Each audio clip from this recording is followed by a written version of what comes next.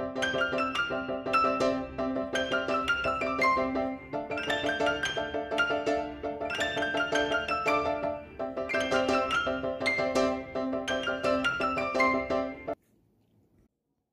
Friends Deep Mohit kitchen में आपका स्वागत है। आजकल होली का सीज़न चल रहा है और घर में पकवान, मिठाइयाँ पापड़ आदि सब कुछ बन रहा है। तो मैंने सोचा, आज आपको एक रेसिपी मैं ब्रेड के गुलाब जामुन की बताती हूँ।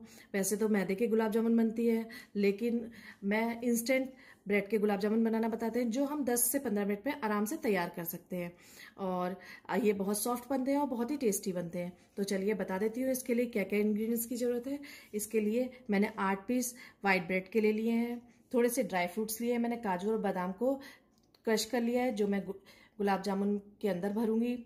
मिल्क पाउडर लिया है हमने, देसी घी, में में, हम गुलाब जामुन को तलेंगे, आप चाहें तो रिफाइंड ऑयल का भी इस्तेमाल कर सकते हैं।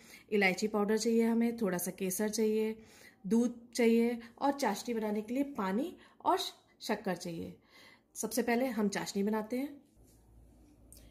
चाशनी बनाने के लिए मैंने एक कप शुगर ली है, जो मैं पैन में डाल दूँगी। और एक कप ही हम नाप करके पानी डालेंगे। बराबर का पानी डालेंगे हम चाशनी में।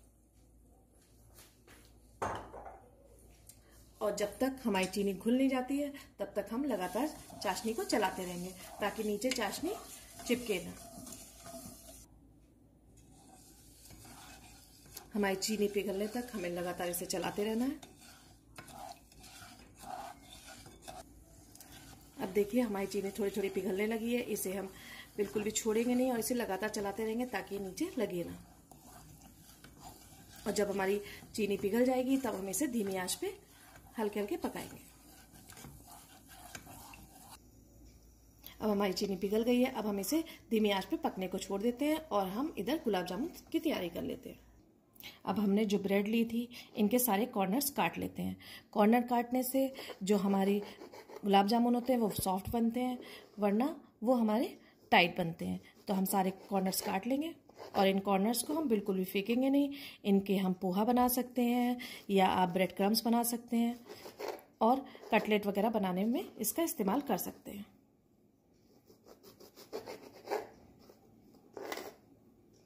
और इसके चार टुकड़े कर लेंगे हम। इसी तरीके से हम सारे ब्रेड के कॉर्नर्स काट लेंगे सारे ब्रेड के पीसेस काट लिए हैं कॉर्नर भी निकाल दिए हैं हमने। अब हम इसको मिक्सी के जार में ब्रेड क्रम्स बनने मेरे ब्रेड क्रम्स बन गए हैं। अब मैं ब्रेड क्रम्स को एक बोल में निकाल लेती हूँ।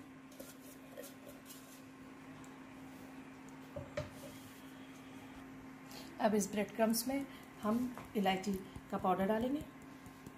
इलायची का पाउडर ब्रेड क्रम्स में डालने से इसमें बहुत ही अच्छा टेस्ट आता है। अब हम इसमें तीन चम्मच के करीब मिल्क पाउडर डालते हैं। मिल्क पाउडर से हमारा जो इसका टेस्ट है, वो बहुत ही अच्छा आता है। अगर आप चाहें तो आपके पास फुल फैट क्रीम आता, दूध आता हो तो आप उसका भी इस्तेमाल कर सकते हैं। आप दूध को उबाल करके, एक कप दूध को आधा कप करके उसका भी इस्तेमाल कर सकते हैं। वो भी बहुत अच्छा हो जाता है। अब हम इसको अच्छे से मिला लेंगे। अब हम इसमें एक चम्मच के करीब देसी घी डालेंगे और इसको अच्छे से मिला लेंगे। अब हम इसको दूध डाल डाल के इसका एक सॉफ्ट सॉफ्ट डो बनाएँगे।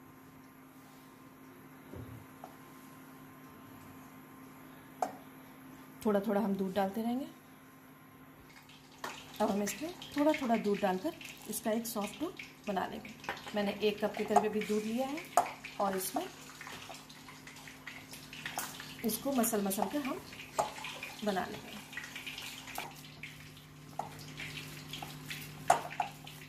इसका हम अच्छे से बहुत ही चिकना चिकना डो तैयार कर लेंगे।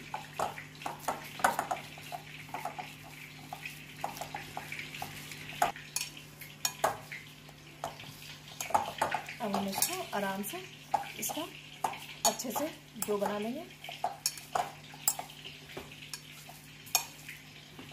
अब हम इसको 10 मिनट के लिए रेस्ट करने के लिए छोड़ देंगे।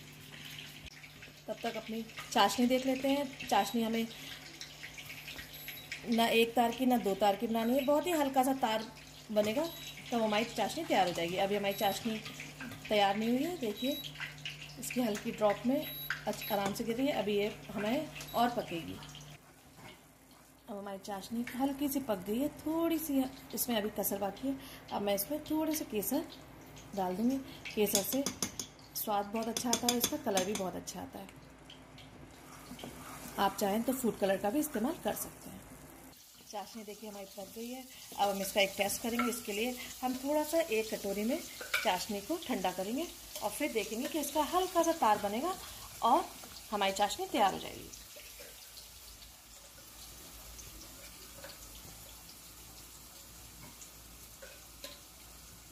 देखिए, बहुत हल्का सा तार बन रहा है। अब ये थोड़ी और ठंडी हो जाएगी।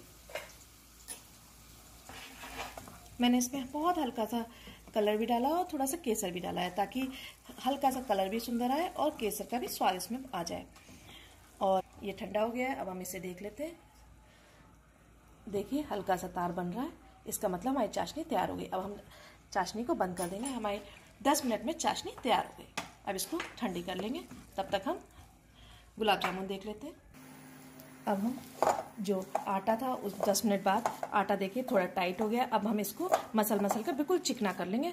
तभी हमारा, जिससे हमारे गुलाब जामुन बिल्कुल सॉफ्ट और बहुत ही अच्छे बनेंगे। अब मैं इसको, ये हमारा डो तैयार हो गया देखिए।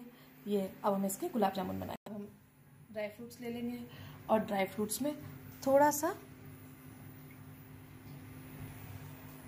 हमने ड्राई फ्रूट्स लिए इसमें थोड़ा सा हम घी डाल देंगे ताकि ड्राई फ्रूट्स आपस में मिल जाएँ और जब हम उसको गुलाब जामुन के अंदर भरें तो उसका अलग ही अब ये अच्छे से हमारे आपस में मिल जाएँगे। अब हम गुलाब जामुन को आप जो भी शेप देना चाहें। देखिए कितने चिकने गुलाब जामुन बने हैं, देखिए। अब हम इसमें थोड़ा सा इसके बीच में जगह करेंगे और इसमें जो ड्राई फ्रूट्स हैं वो अपने भर लेंगे। और फिर इसको राउंड शेप दे देंगे। अंडाकार भी लोग पसंद करते हैं।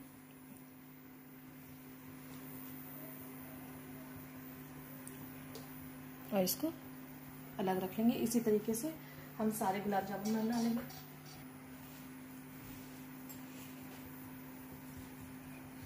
बीच में आप थोड़ी सी कटोरी की तरह शेप बना लीजिए और इसमें अपने ड्राई फ्रूट्स रख लीजिए और इसको राउंड शेप दे दीजिए। ये हमारे इंस्टेंट गुलाब जामुन है, बहुत जल्दी तैयार हो जाते हैं और बहुत ही खाने में टेस्टी लगते हैं। आप चाहें तो इसको थोड़ा बड़ा साइज़ का भी बना सकते हैं या फिर थोड़ा छोटा साइज़ का भी बना सकते हैं। इसी तरीके से आप सारे गुलाब जामुन हम तैयार कर लेते हैं।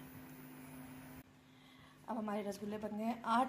ब्रेड में मेरे तेरह रसगुल्ले तैयार हो गए हैं। अब हम इसको फ्राई कर लेते हैं। मैंने देसी घी चढ़ा लिया है और आप चाहे तो रिफाइंड का भी इस्तेमाल कर सकते हैं। और मैंने इसको एक बार तेज करके और हल्की गैस कर लिए। और हम इसे हल्के, हल्की ही आँच पे इसे धीरे धीरे तलेंगे ताकि ये अंदर तक हमारा रसगुल्ला तल जाए।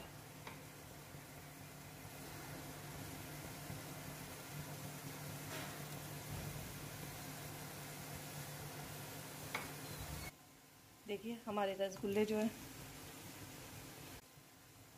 गुलाब जामुन का कलर देखिए, कितना अच्छा आया है और हमें हल्का ब्राउनी कलर गुलाब जामुन में चाहिए। अब हम इसे निकाल लेते हैं। इसी तरीके से आप सारे गुलाब जामुन फ्राई कर लेंगे। इसी तरीके से हम और जितने बचे हुए गुलाब जामुन हैं, उन्हें भी तल लेंगे। और ब्राउन कलर आने तक हम इसे हल्की आँच में ताकि ये आराम से अंदर तक पक जाए। देखिए, हमारा कलर कितना अच्छा आया है गुलाब जामुन का। अब हम इसे निकाल लेते हैं। देसी घी में तलने से गुलाब जामुन बहुत ही टेस्टी बनते हैं। देसी घी का अपना ही एक स्वाद होता है। इन्हें मैं निकाल लेती हूँ। मैं चाशनी में गुलाब जामुन एक से सवा घंटा हम रख देंगे ताकि जो गुलाब जामुन है वो चाशनी अच्छी तरीके से अंदर गुलाब जामुन के पैपस्त हो जाए और अंदर तक गुलाब जामुन बहुत ही मीठे मीठे हो जाए।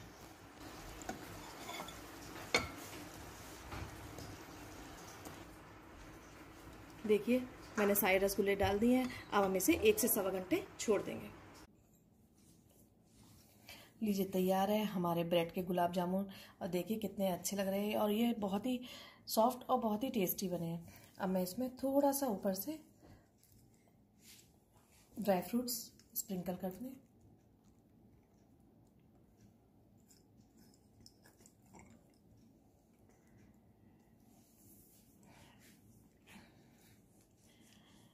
अगर आपको मेरी रेसिपी पसंद आई हो तो प्लीज़ इसे लाइक करिए, शेयर करिए, और मेरे चैनल पे अगर आप नए हैं तो प्लीज़ इसे सब्सक्राइब ज़रूर कीजिएगा, और ये बढ़िया बढ़िया गुलाब जामुन ब्रेड के आप होली पे बनाइएगा, और अपने सारे परिवार और सारे मिलने वालों को खिलाइएगा।